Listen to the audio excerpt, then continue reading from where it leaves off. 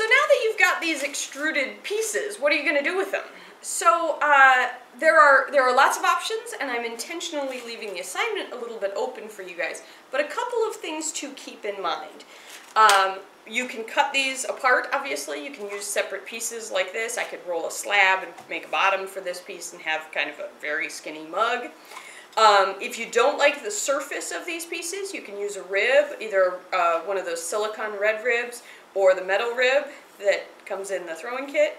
Um, and you can smooth these and make them sort of a nicer surface to start with. From here you can facet and carve and all of those sorts of things that we uh, talk about in other videos. Um, but a couple of things specifically for the extruder that you might not always think about um, is you don't have to be stuck with this kind of uh, diameter and shape. The, the tubes tend to come out on their own kind of at an angle sometimes, um, but you can uh, sort of encourage some of that. Uh, if you want to change the shape, you can go ahead and give yourself, a, what do you call that, like a, a there's a, there's a sewing term for it. You can cut out a little triangle and uh, make sort of a dart that either gets narrower or larger. So I've cut out a triangle out of this bottom section and uh, removed clay. If I go ahead and score and slip this, score it up, this is actually pretty wet clay, so I could probably get away with not using slip on this one. And it's pretty thick, but I can go ahead and press those parts together if I use my rib, I can compress that seam and make it a little bit stronger.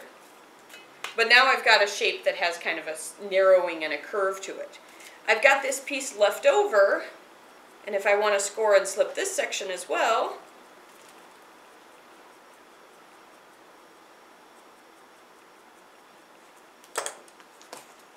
I've got a little bit of slip over here. Just stoneware slip add it in to my sides so I got a nice good stick.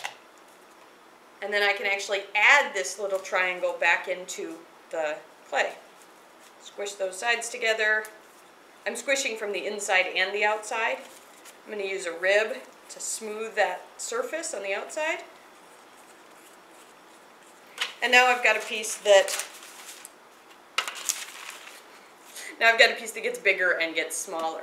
I'm going to go ahead and give myself another cut over here and I'm going to start to actually just pinch the walls. My clay is pretty thick here in this particular extrusion.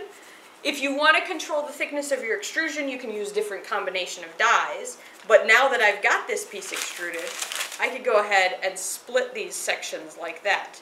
Um, and then I've, I could, you know, add something like this other part that I've got over here keep sculpting. There's a lot of changes you can make in what you start with. It doesn't have to stay put.